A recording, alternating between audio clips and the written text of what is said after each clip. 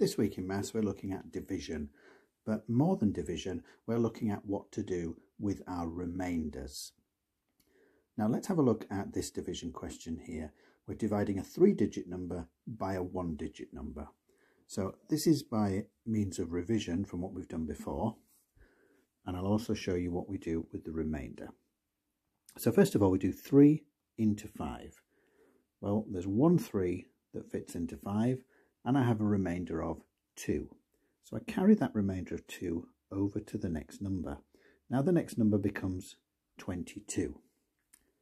So now I'm doing 3 into 22. Well, I know from my times tables that 7 times 3 is 21. That's as close as I can get without going over 22. So my answer is 7, which goes above. 7 times 3 is 21, but I want 22, so I've got 1 left over. So my one remainder goes there. Now I've got 3 into 16, and I know that 5 times 3 is 15, and I have a remainder of 1. And that's how we do the division. Those of you who normally do the D sheets in class, you will be doing the first set of questions which are like that. Let's have a look at another example. I'm going to do 4 into 927. So we follow the same procedure. How many times does 4 go into 9? Well, it goes in twice because two lots of 4 equal 8. And I've got one remainder, so I put that one remainder on the next number. So now I've got 4 into 12. Well, I know that there are three 4s in 12 exactly. Now I look at 4 into 7. Well, I can fit one 4 in 7, and I have a remainder of 3. But this time we're going to do something with the remainder. It isn't just 3, because it's not three whole ones. It is 3 remaining after we've divided by 4. So it's three lots of 4. So the remainder is a numerator. This number here, which we call the divisor, is the denominator. So you can see here the remainder is not 3, because if we think of it that way, we think it's three whole ones, and it isn't. Our remainder is 3 quarters. So 927 divided by 4 is 231 and 3 quarters. Those of you who will be doing the second sheet are those of you who normally do the E sheet in class. I would be expecting you to be doing things like that. And for the last set, let's have a look at something a bit trickier. This time, we're going to be dividing by double digits.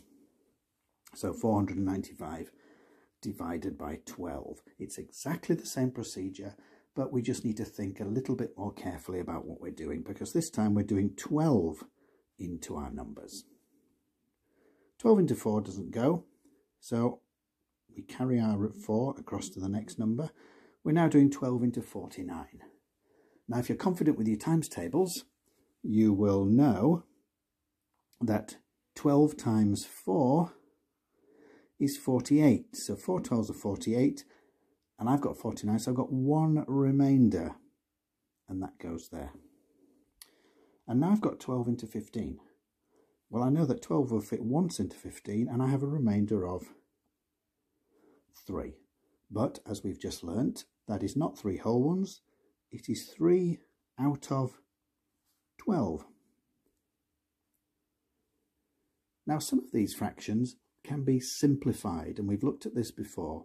We need to look at the fraction and decide, can I divide the numerator and the denominator by the same number, thereby making the fraction a lot simpler? Well, if I look at 3 over 12, they're both in the 3 times tables. I can divide them both by 3. I've got one 3 in 3, and I've got four threes in 12. So it actually means a quarter.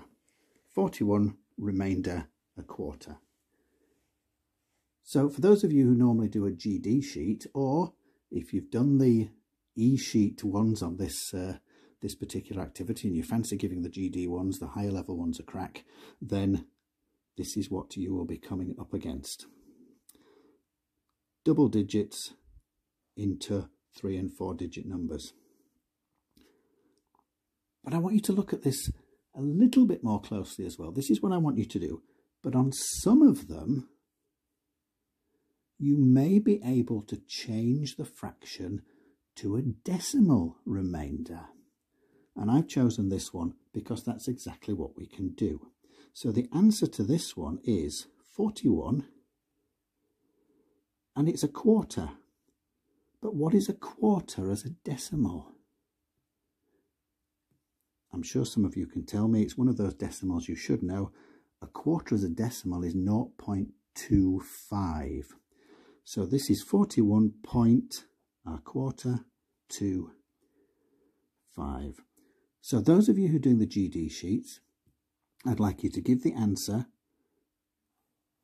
with the remainder as a fraction, but there are some of them that you could tell me what the decimal remainder is as well. Not all of them, because if you get something like, let's say 6 over 7 as your remainder, you're not going to be able to tell me what the decimal is for that without a calculator perhaps.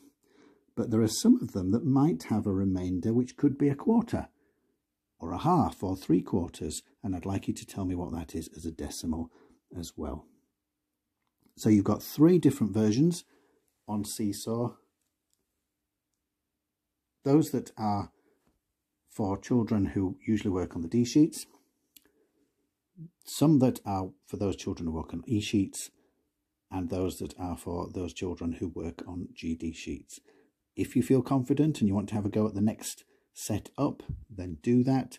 But do make sure that you do these carefully and slowly and make sure you show those remainders properly.